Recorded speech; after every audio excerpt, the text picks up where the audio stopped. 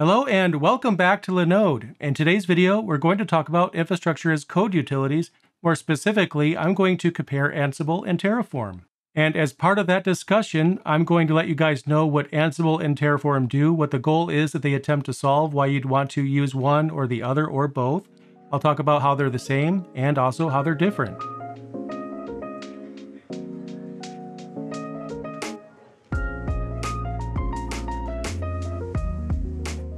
Now I know that some of you out there that are watching this video might be more familiar than some, and if so, you might be asking, why is he going over a comparison of Terraform and Ansible when they're technically completely different solutions? Well, that is true. Ansible and Terraform are designed to solve separate goals.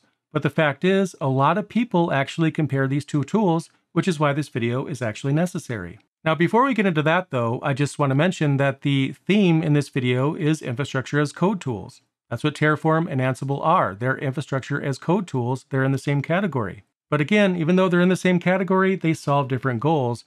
But the idea behind infrastructure as code is that as an administrator, it's just not a good idea to do everything manually. In fact, automating things is almost always a better way to go. I mean, think about it. If you want to set up 100 servers, do you want to do that manually? I know I don't. That doesn't sound like a fun time for me. Well, actually, it kind of does because I love setting up servers, but that's actually not an efficient way to do it. Automation is better because it helps eliminate, you know, human error and things like that.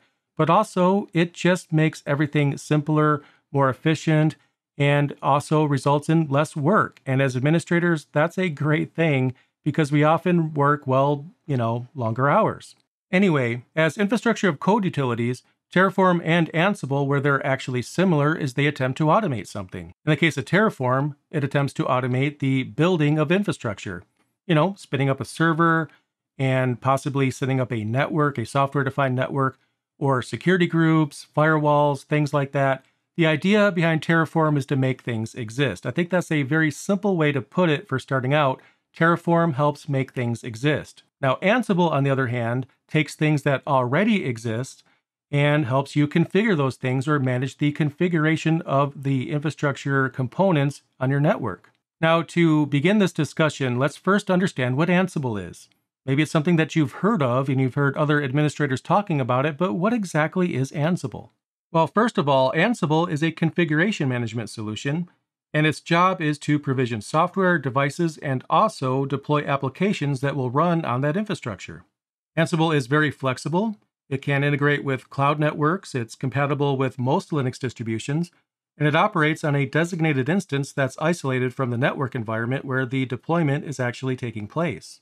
When it comes to the language that Ansible understands, Ansible uses the YAML format so by using Ansible, you're creating YAML files, which are text files that are in a particular format. It's what Ansible uses, but it's not invented by Ansible. Terraform also uses standard text files as well, but it doesn't use a standard format. The idea around using config files, you know, text files with configuration commands within the text files themselves, that's actually fairly common across all the solutions in this particular category. Now, another benefit of Ansible is that it's agentless. Other solutions like Puppet, Chef, and so on will have an agent application that you install on the server that you want to be managed by that solution. And you just make sure that agent is running and that agent is required. But with Ansible, you don't actually have to install anything on the target system at all. What Ansible does is it utilizes SSH to connect to the host that it's configuring. And SSH is something that your server will likely have anyway. So it just logs into that server via SSH and executes commands on that server in order to bring it up to spec. Maybe you're setting up a web server or a database server, and in your YAML files, your playbooks, you'll have all the configuration options and tweaks and commands and things right in those files that will ultimately transform your vanilla or otherwise unchanged Linux instance into what it actually should become again, a database server, a web server, maybe a file server, whatever it is that the goal is for that server to solve. Ansible's job is to customize and configure that server until it matches your specification. And Ansible is one of my favorite technologies. I absolutely love it. In fact, I adore it. It's my configuration management solution of choice. Now, I just gave you a summary of Ansible, but let's take a look at Terraform. What is Terraform and what's the goal that Terraform helps you solve? Terraform is an infrastructure of code solution. Terraform's primary goal is to create infrastructure. Even with a completely empty and fresh cloud account with your cloud provider, Terraform is able to access that account and build pretty much everything. For example, if you wanted to set up an Ubuntu server, then Terraform can absolutely spin up a server on your platform that runs Ubuntu. Terraform is able to log into virtually any cloud environment out there because it supports the majority, if not all of them, and spin up servers like an Ubuntu server, even a Windows server if that's something that you want. The same is true for network subnets. It's absolutely able to create those as well. In fact, Terraform could set up basically everything when it comes to your infrastructure. But the difference between Terraform and Ansible is that as soon as Terraform has, in fact, provisioned the infrastructure that you want created, that's where it stops. Now, sure, you could set up Terraform to run a bash script on all of the servers that it sets up, and perhaps that script will have some commands for installing packages, installing updates, and things like that. So you can absolutely use Terraform for configuration management, but that's not its primary goal, and it's just not as efficient as Ansible is when it comes to configuration management, because Terraform is actually not a configuration management solution at all. That's just not the goal that it tries to solve. And that's also one of the reasons why Terraform and Ansible complement each other so well. As soon as Terraform does its job and creates the infrastructure that you want created in your cloud environment, then Ansible is able to then connect to any of those infrastructure components and further configure them. Since Terraform's primary goal is to build infrastructure, and Ansible's primary focus is configuration management, then Terraform can create all of the components within your infrastructure when it comes to cloud infrastructure that you want created and then Ansible can then, in turn, log into each of those components and further configure them. For example, if you instruct Terraform to spin up 100 Debian servers, and then sometime later there's a very important security update that you need to have installed on each of those servers, the last thing you probably want to do is log in manually and install the patch on each and every system one by one. That's a very time consuming task. But if you instruct Ansible to ensure that the patch is installed on every server, then Ansible is able to do that work for you. It's able to log into each and every one of those servers and install that patch. You give Ansible one command, and then it just goes ahead and carries it out.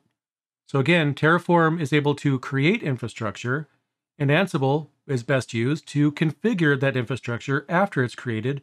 So again, that's why Terraform and Ansible are a perfect match for each other. Now, the infrastructure that Terraform creates is known as immutable infrastructure. Immutable infrastructure is infrastructure that is created fresh whenever there's a configuration change, rather than making changes to an existing resource. Using my Debian example from earlier, let's say later on, once Debian 12 is released, you have to go through the upgrade process on each of those 100 servers. Again, that's going to be very time consuming. In that situation, for example, what you might do is adjust your Terraform configuration to use Debian 12 instance images rather than images for Debian 11 like your organization used before. Now, considering that Terraform creates immutable infrastructure, what that means in this case is that Terraform will recreate the server instances from scratch with Debian 12 rather than upgrade your existing Debian 11 servers to the newer version. And that's what immutable means in context of Terraform, Rather than update things, it's often going to completely recreate things. And that also means that your infrastructure will always consist of fresh instances if you utilize Terraform. When it comes to Ansible, however, Ansible is not immutable like Terraform is. For example, let's say that there's a critical vulnerability that's been found and threat actors are actively using that vulnerability to gain unauthorized access to your servers. In that case, it's very important to make sure that the patch is installed on each and every server. Just like I mentioned before, if your organization has hundreds of servers, then it would be very time consuming to manually install that patch on each of those servers. But since Ansible is mutable, you know, the opposite of immutable, you can define a requirement that your infrastructure needs to have that patch installed, and then, well, like I mentioned earlier, Ansible will connect to each of those servers and carry out that instruction to install the patch on all of those servers. Therefore, since Ansible is mutable, it's able to access servers and change their configuration without recreating the entire thing. It doesn't replace existing servers with brand new servers like Terraform does. So I just gave you guys some examples of how Terraform and Ansible are quite different. They solve completely different goals. But why is it then that so many people compare Terraform and Ansible against each other? Well, let's talk about some of the things that they have in common, and then I think that'll help it make more sense. And one of the reasons why Ansible and Terraform are often compared against each other is that there's a bit of overlap when it comes to their feature sets. For example, both Ansible and Terraform are agentless. And that definitely simplifies how you use each of those solutions. Without an agent, there's nothing for you to install on the target servers ahead of time. And considering that it's Terraform's job to create the initial servers in the first place, that makes sense. You can't install an agent on something that technically doesn't exist yet. In addition, neither Ansible or Terraform require programming experience. Sure, there's going to be similarities in the syntax when you compare the syntax to actual programming languages, but both solutions can absolutely be learned without having experience with a full programming language. Also, both Ansible and Terraform require access to cloud environments that you want them to manage, so for both solutions, you'll have to maintain and secure their access to your cloud accounts. And that's not even all. There's additional overlap as well when it comes to the individual things that you could do with each of the solutions. Even though Terraform, for example, its job is to create infrastructure, there's nothing stopping you from using it to run a script on the target server that you've created with Terraform, and it's actually quite common. And considering that you can instruct Terraform to run a script on any server that it creates, in that case, there's nothing stopping you from actually having it do everything. But like I mentioned earlier, that's not a very efficient way to do it, and that's also not why Terraform was created. Now, when it comes to Ansible, Ansible is also able to create infrastructure as well. And one example of that is you can absolutely instruct Ansible to create a container. Ansible is able to log into a containerization solution that you might have installed, and then instruct that solution to spin up a container whenever you want it to. Ansible is also able to connect to some firewalls and switches out there and configure those, but again, that's not the primary purpose for Ansible, even if it is able to do those things. That doesn't mean that it's a competitor to any other solution. Again, there's overlap, and sometimes that can make it a bit confusing to understand where one solution ends and the other begins. So when it comes to Ansible and Terraform, which one should you use? Should you use both? Well, actually, yeah, you should definitely consider using both Ansible and Terraform, and here's why.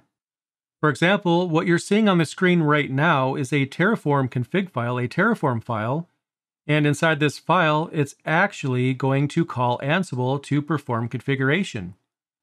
Earlier, I mentioned that Terraform, for example, is able to run scripts against servers that it creates within your infrastructure.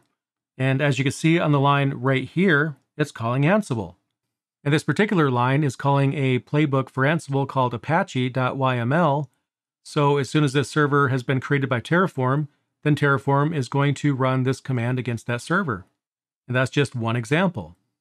But when it all comes down to it, Terraform is a great choice when it comes to creating cloud resources that don't exist yet, as well as making changes to your underlying infrastructure. In an empty cloud environment, you could use Terraform to define and create the underlying network, as well as the instances that will utilize that network, and more specifically, when it comes to networking, you could use Terraform to configure entire network subnets, including how they're accessed, right down to the IP address scheme each network will use. When it comes to server instances, you could use Terraform to define individual details such as how many CPU cores the VM must have, and other details as well. And with that solution, you also define which image you want to create your instances from, so for example, on Linode, if you wanted to spin up a Debian instance, then you would choose the Debian image here on Linode to make that happen. You would just tell Terraform which one to use, which image to use, and then it'll go ahead and follow your particular instructions. But again, once Terraform creates your infrastructure, that's technically where it ends. And that's the perfect segue right into Ansible. As a configuration management solution, you can configure Ansible to ensure that each device within your cloud network is fine-tuned and is always at its desired state.